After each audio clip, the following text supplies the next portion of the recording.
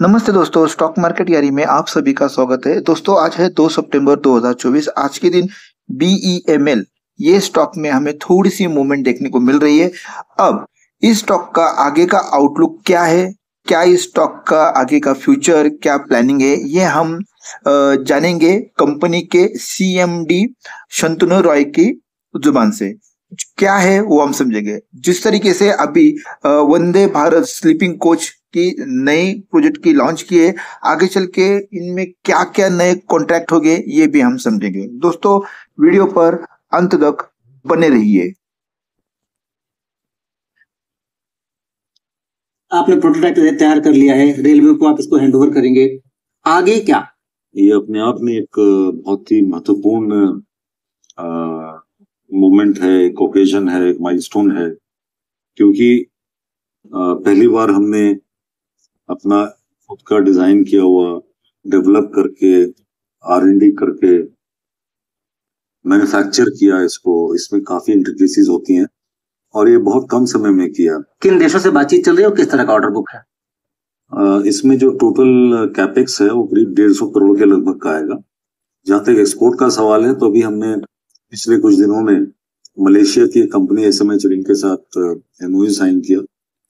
जहाँ तक दूसरे राज्यों का सवाल है, अगर आप मेट्रो की बात करें तो मेट्रो में ऑलरेडी चेन्नई में एक 210 कार का टेंडर हमने जमा किया हुआ है और किसी भी टाइम पे वो अवार्ड हो सकता है। बेंगलोर मेट्रो में जो हम एग्जीक्यूट अभी कर रहे हैं, उसका एक वेरिएशन ऑर्डर हमें उम्मीद है कि आएगा। बेंगलोर मेट्रो में ही नेक्स्ट फ़ेज़ में 400 कार का टेंडर आगे जाके आने वाला है जो ऑलरेडी अभी गवर्नमेंट ने अनाउंस किया पिछले कुछ दिनों में। चेन्नई में 210 के अलावा छियानवे कार का एक टेंडर और है। मुंबई में line four line five line six तीन मिला के करीब चार सौ चौहत्तर का टेंडर है।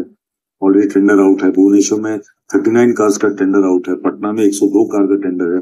और इसके अलावा हर शहर हर सिटी में भारत में इवन टीयर टू सिटीज़ में अब मेट्रो ये तो तय है कि मेट्रो आएगा।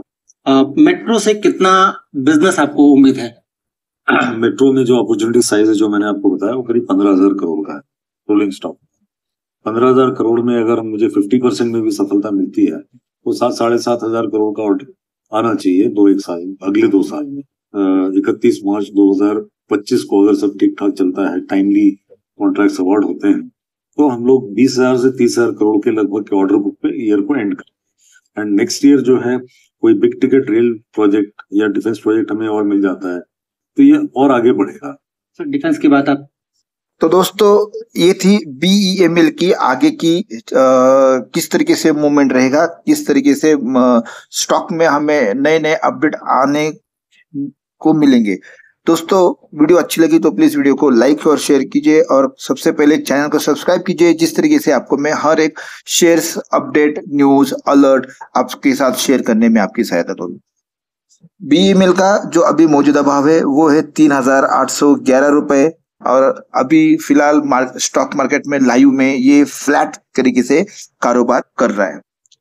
यदि आपको इसमें इन्वेस्ट करना हो या कुछ पोजिशन लेना हो तो दोस्तों आप अपने खुद की एनालिसिस यूज़ कीजिए और अपने एक्सपर्ट से राय लीजिए।